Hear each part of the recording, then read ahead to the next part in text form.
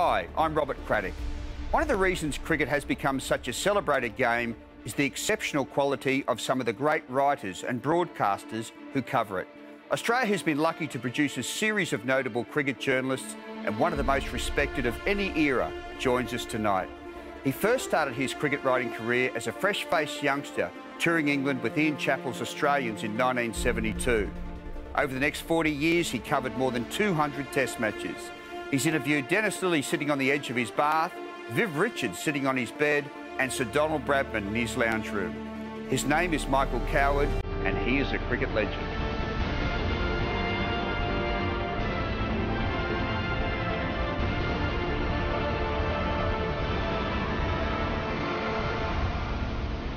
Welcome, Mike. 53 years in journalism, and uh, to quote one of your famous quotes, still off the long run.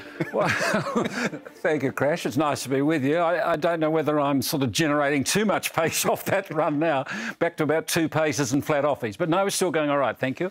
But it's been a great career, and you've always been proud to be a, a sports journalist and a cricket writer, haven't you? And, and have often felt it been a little bit devalued, haven't you, the yeah, profession? I felt strongly about that over, over many, many years. Interesting, you should say, just the other day, had a call from a sports writer in uh, Los Angeles who's doing a thing on Australian sports writing, sports writing around the world, and was interested in the fact that I thought that way. But I, I have felt for a long time that it's bizarre that a country that that its international identity to such an extent has been built on sporting accomplishment and sporting achievement that there's been a tendency, particularly in newspapers, to devalue the work of sports writers. And for a long, long time, some of the best writing in this country has always been in sport. I've, I've always found that mystifying and disappointing. And you sit here as such an august figure, you know, within Australian cricket writing, and yet it all started out from a very low base, wasn't it? So your your humble beginnings. it was very modest schooling, I can assure you of that. Um, and uh, but always had a love of sport as a kid. And um, my mother had an old Royal typewriter on the back veranda of the home in Seacliff in Adelaide. And as a 12 and 13 year old, I'd be coming home from Australian football matches and uh, writing match reports. And even a couple of early cricket reports too, because I had a winter god and a summer god.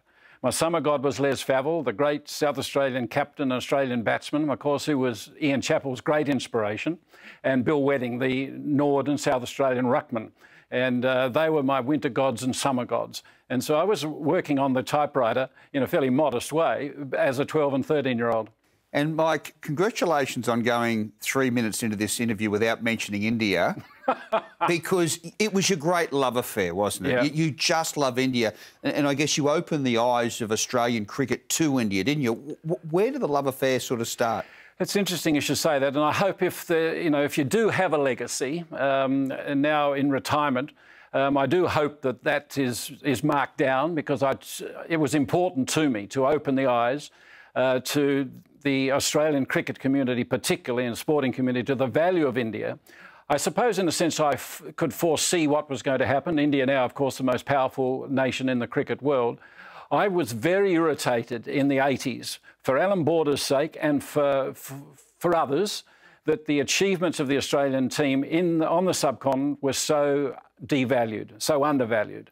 I mean, 1986, the Tied Test, there's only been two in history, was the most astonishing game uh, virtually went unrecorded in Australia. Uh, the ABC didn't send. I did the ABC into their newsroom after each day's play. They didn't send. In 86, 87, World Cup, Australia win, and Border has his moment in the sun after all those years of trying. ABC not there again. Channel 9 uh, televised the first innings, but not the second innings. Uh, Natasha Kinski and Dudley Moore in Unfaithfully Yours turned up in the second innings. I mean, it was such an insult to Australian cricket and such an insult to Border. And that's, that's probably where my passion really intensified about uh, a love affair of India. And it prompted me to write Cricket Beyond the Bazaar, one of my early books. Are you serious? Dudley Moore? Dudley Moore and Natasha Kinski were in the Sunday night movie on Channel 9 instead of the second innings when Australia won the World Cup. That's extraordinary. And your writings on that are very emotional and they're very linked to Border. You, that was the one thing you you held through all those years. You so admired Border. Very you? much, and still do to this day. Um, I think you can mount a very strong argument that alongside Bradman and Benaud, that you can look to Border as one of the great influences in Australian cricket. Now, I know all the, the captain grumpy, and if anybody had a, any entitlement to be grumpy, it was Border. I mean, no one man has had to do so much alone as did Border. He had so little help on and off the ground. He was exceptional. But there were interesting moments. I loved it at the press conference when the other side of your relationship to Border, where you'd say, Alan, we're sick of these empty promises. And he'd look at you and go, "Well, Michael, it, it was on, wasn't it? It was. They were great moments, weren't they?" Yeah. Well, uh, I understood what he was going through, and I think he respected too what I was doing in my job. And I think that's a fundamental difference that has changed as the game has evolved. I think the players of uh, the Border era and on with Waugh and Taylor, there was a greater understanding and respect for the cricket media than there is today. There was a far better relationship then and an understanding of what our roles and responsibilities were. And Border, while he had no, I mean, he didn't want the captaincy initially. I mean, I can remember in 1986 when he came very, very close to a nervous breakdown because of the pressure. And he felt that he was being let down by everybody in that side. Um, but I, I think that was the thing. He respected what we had to do. Interesting times, weren't they? Like nervous breakdown, they're strong words, but you were monitoring him very closely at that time. Very and, so. you felt he was right on the edge, did you? Is there any image or any point where you thought this guy's in trouble? Yeah, very close in Dunedin, one day game, and um, he didn't front for the press conference. And um, I thought then, and in fact, Bob Merriman was the tour manager, and I talked to him quietly then, and it became very obvious that he was very close to breaking. It's interesting, we, we talk now, of course, and, and we've seen sadly in recent years a number of players on the international scene break down because of, uh, of depression and the nervous strain. But let's not underestimate how much cricket was played after the World Series cricket revolution and moved in. The programming of the Australian team in the 80s uh, involving Border was extraordinary. And there were just as many, if not more pressures then, because he, he was doing it alone. Speaking of the Tied Test, which was such a highlight uh, covering it in your career, I can only imagine the pressure of guys with typewriters in that humidity, the paper getting wet. They say that some keystrokes went through the paper. Filing back then out of India, Michael, how you didn't have a nervous breakdown? We're perilously close to it. We're, it, was, um, it was the night that the Brownlow medal um, in Melbourne was a tie as well. But it was an astonishing game. And um, I remember that. I mean, you, I mean, it's a privilege. I mean, there's only been two uh, Tied Test matches in history, and uh, I was there for that one. And it was it was certainly hard yakka. And yes, you're right about the keystrokes. In fact, I think some of us were working on thermal paper, and with the sweat pouring from one's brow onto the thermal paper, the whole copy could disappear in, in a in a flash. And it was being done by telex operators underneath the stand. So you can imagine the pressure uh, with a Tied test. All of us being resourceful journalists into the last half an hour, some had the winning stories and they had your losing stories, but nobody had the Tied story. So it was frenetic. Greg Matthews claimed that Dean Jones's double century was overrated in that test. What did you think? That's outrageous. And so you expect nothing more from Matthews, I suppose. I mean, he continues to be outrageous in so many ways. It was an astonishing. I would rate it in the top four or five hands I've seen and certainly the most courageous hand I've ever seen. I mean, those conditions were oppressive in the extreme. The humidity, uh, the heat, the rank smells from the Buckingham Canal, uh, his cramping, he was vomiting on the, on the, on the pitch. Um, and he played beautifully, absolutely beautifully, against a pretty handy attack led by uh, Kapil Dev. Let's go back to your first tour, Mike, 1972, the famous Ian Chappell tour uh, of England, which so many people saw as a turning point. And uh, you, as an Adelaide boy, struck up a nice rapport with Ian Chappell, didn't you? Great admirer of Chappell's, great admirer. I mean, he can be a contentious and a curmudgeonly figure in many ways, but the greatest qualities of Ian Chappell his honesty and his loyalty. And no man can ask more of a leader. There's been some wonderful illustrations of that on and off the ground, and known more so than the late Terry Jenner when he was. Uh, uh, detained at Her Majesty's pleasure for a while because of uh, a misdemeanour. And who was the one who was writing to him while he was uh, in jail? It was Ian Chappell. Jenner came out of jail and returned to Adelaide Oval for a test match. He said to Chappell, I'll, I'll meet you around the back. I'll walk around the back of the stand. And Chappell said, No, you won't. You'll walk in front of the stand and I'll walk with you. Always the captain, always the leader. You listed some of your career highlights as interviewing Viv Richards while sitting on his bed, interviewing Dennis Lillee while sitting on his bath. I mean, th this is access that's long gone, Mike, isn't it? Yeah, it was a very different world then. I mean, it was a lot more relaxed. I mean, the 72 team to England, for instance, where I did interview Lillee on the bath, um, he said, oh, come in prop there and, and give you the yarn you know, I've never had any troubles with uh, with Lillee. A lot of members of the Fourth Estate have, mind you, but I always found him honest and uh, and and fair. But yeah, the access was was different. Yeah, I, could, I propped on a cot next to uh, to Vivi Richards at the hotel in uh, in Darlinghurst here in Sydney. And that sort of access, of course, it's a great pity. I mean, I know the game has changed. You know, the whole world of sport has changed, and there's there's manager. None of the, there was no such thing as managers. There was no such thing as media managers. Uh, you might have had uh, executives of a, of a cricket association who were keen to talk to you and to give you a, a, a head a head start. But we had to be so much more resourceful. So much more resourceful. There are some old photos of you uh, in the 1972 boys touring England with uh, you with a cigarette in your hand at the end of the group, and and Richie Benaud, of course, was part of that press corps as a pressman. Yeah. What was it like being the absolute junior in the group and having Richie as sort of the doyen? Well, there was, there was some pressure there. The the Test match in, at Lords was extraordinary. Uh, Bob Massie took 16 for 137. He was ducking the ball all over the place. And um, yeah, as you can imagine, with the wickets falling at that rate, it was frantic. And suddenly, uh, you know, I'm working away, and suddenly there alongside me is Richie Benaud, who really wouldn't have known who I was. And he said, Are you managing all right? Anything I can do to help? Now, you never forget that. You never forget that sort of here's Richie Benaud, legendary player, leader, commentator, journalist uh, standing alongside someone he barely knew, saying, Are you managing okay? Is there anything I can do to help? You never forget that sort of uh, assistance and thoughtfulness. You know, and I always greatly respected Richie for that. What about your dealings with Bradman, Mike? They were complex. Any favourite stories? He, I've, I've got to say that he was, he was generous to me. But the, the one thing with Bradman, and I think that everything was always done at Bradman's terms. Always. And that's where a lot of the pressures came and a lot of the misunderstandings came. I got the only interview with him when I was working for The Age um, in Melbourne uh, for the 50 years of Bodyline in 82-3. And um, I flew to Adelaide for the interview and went out to his place in, in Holden Street, and he was very welcoming. Of course, it had been teed up by the executives of the Age that this would be done. And of course, it would be done at his terms. He would see the final copy, he would see the final proofs, etc., etc. And he was a pedant um, to the extreme.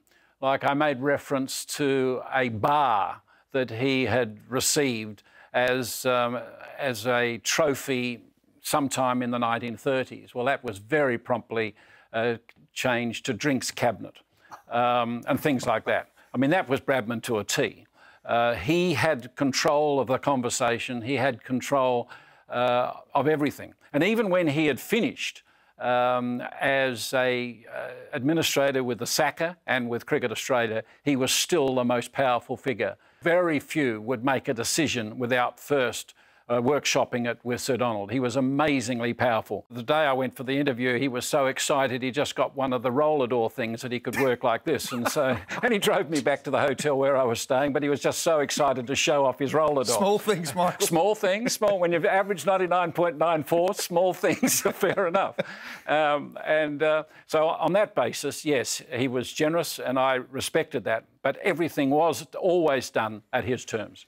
Kerry Packer was another interesting one because you covered the Packer revolution. Some people say that World Series cricket was Packer for Packer, and it's all just been a little bit sugar coated, as in I. But it was basically him feathering his own nest. Do you go down that line, or do you no. think no, he helped the game? Yeah, I do. Oh, I think he uh, immeasurably helped the game. I mean, it was a cl classic case of the Masters and the Serfs. I mean, they administration didn't care about the welfare of the players. I mean, Sheffield Shield cricket, what was it, 30, 30 bucks a day and a laundry allowance. Mm. I mean, they didn't care. They had to take time off from work to play Shield cricket, you know, to qualify to play. They, there was no regard for the welfare of the players. I mean, it's usually thought that Ian Chappell drove it. but it was DK Lillee who really drove it. And uh, Lillee went to Chappell and to, to Rod Marsh, uh, and, they were the power base. But Lillee really drove it. His sense of injustice, in fact, in many ways, he still feels deeply affronted over many things, Lillee, that, uh, that they were treated in such a cavalier way by the establishment. And, and while there's obviously been a lot of changes in attitude um, at establishment level, Lillee still feels it very deeply. He was gravely affronted by that, and that's why he drove it. But no, I believe Mr. Packer cared about the game, and he certainly cared about the welfare of the players. Whether the method of operation met with everybody's uh, approval is another matter altogether.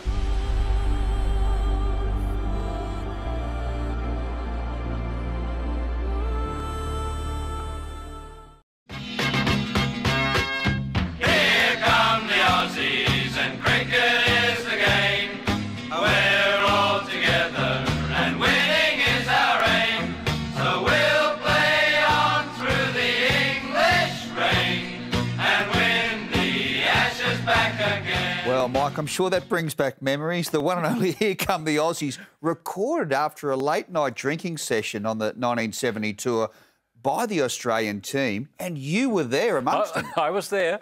And what about the flip side? Bowl a ball, swing a bat. Have you ever heard that? no, that's, I don't want to. that's a shocker too. It was a very funny night. It was at the London Sports Club, I think, as I recall. In those days, there were many receptions for touring Australian teams, and of course, the players enjoyed them. They didn't run away from them. Nowadays, you can't get a, a player to any official function on a tour you know, which is another sadness because that, in a sense, dismisses the history of the game and what's gone before. But yeah, it was a very funny night. I think it was recorded probably the final take, and there was only a couple of them, of course.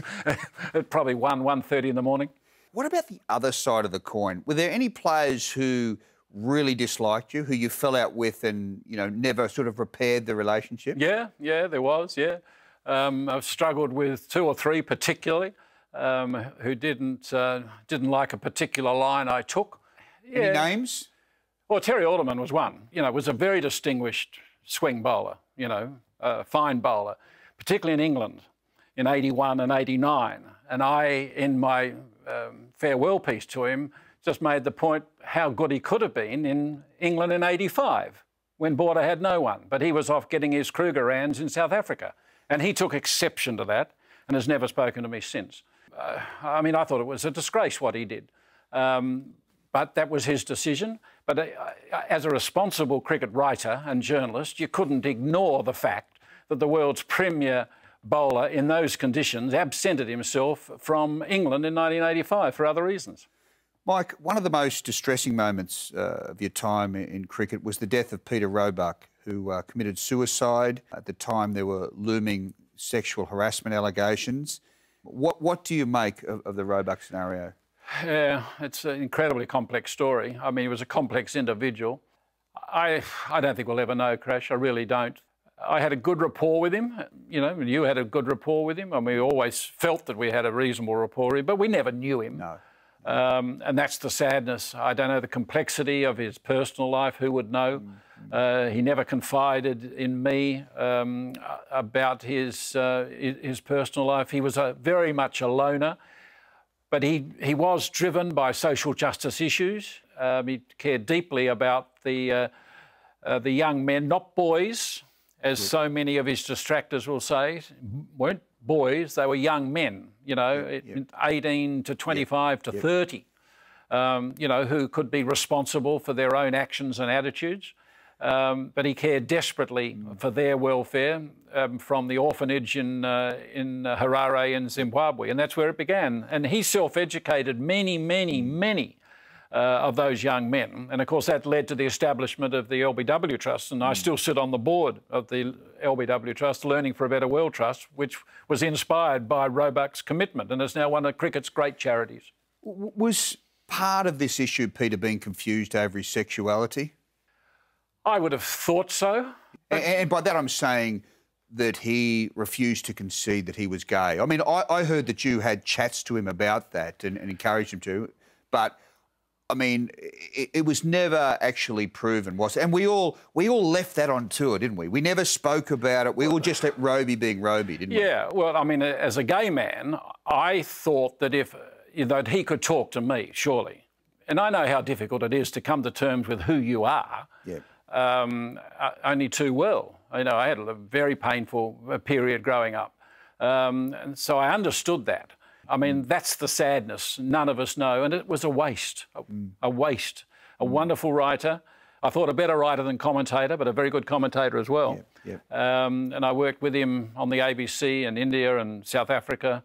Um, and yeah, it's just a, a, a dreadful loss. Mike, you talked about your own challenges. Was it difficult for, for you as a young guy? You spoke about things that you have to come to grips with.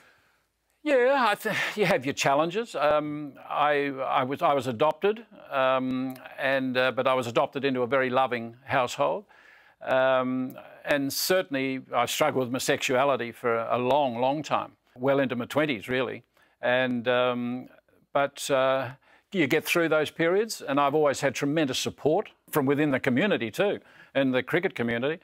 I've never had, I mean, what might happen behind your back, I've got no idea. But at, at, at you know, at, at eye to eye level, um, always tremendously supportive. Many of the players would always ask after Peter Boulie, my partner.